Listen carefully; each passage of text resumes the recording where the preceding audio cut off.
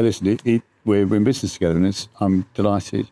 Um, I suppose the question that I would asked you at the very beginning of this is why are we interesting for you? Well, every decision that I've made for the show is always about what our audience wants. So the, you know, it always comes driven from their demands. And we know the important role that e-commerce plays in retail. We also know that those lines are blurring somewhat, and there's more of a how do we replicate that online store in store?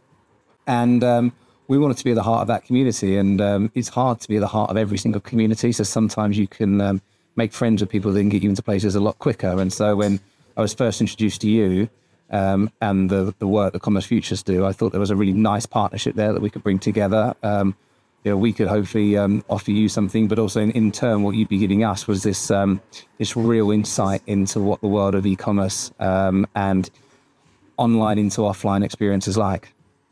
Very kind of you to say. Even if it's not true, and I think it, hopefully it's true. We spent quite a lot of time trying to build it, so I think it's true.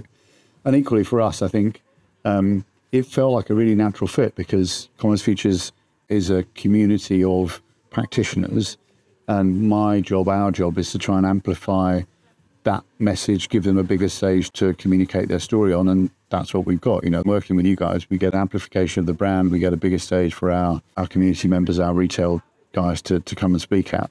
And so I think genuinely it was a pretty short conversation, actually. Really, yeah, definitely. It was because I think when you when you find someone that's you know on the same trajectory as you and looking for the same things that you're looking for, then uh, yeah, those conversations are relatively easy. And I think there's very there's a lot of similarities between the way that you run this business and how we run the retail technology show, which is you know the, the community and the customer comes first, and we build our ideas around that, and our strategy goes around that. So yeah, like I say, it was a really easy conversation and a natural fit, and perhaps one I wish we'd had a few years ago.